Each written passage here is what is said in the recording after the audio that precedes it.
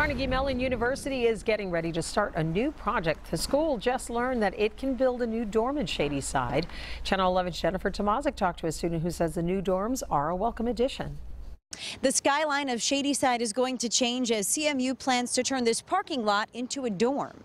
Carnegie Mellon University just got approval from the city of Pittsburgh to build a new dorm at the corner of Fifth Avenue and Clyde Street, right across from Central Catholic High School.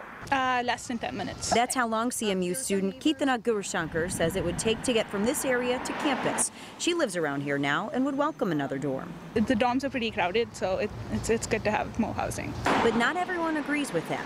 Channel 11 spoke to a neighbor in June who wrote to the Zoning Board of Adjustment concerned the project would impact air quality, create additional traffic and noise problems, and generally ruin the landscape of their homes. CMU told Channel 11 today, as with all projects, we will follow the city's processes for design review and permitting. And I guess like if, if, if there was like college students moving into my area, I would I would be kind of worried as well.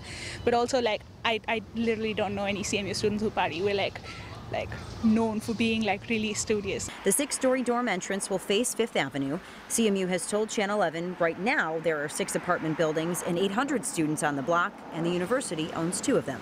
CMU tells me they hope to start construction this fall on the new dorm, and they hope to have it done by 2021. Reporting in Shadyside, Jennifer Tomazic, Channel 11 News.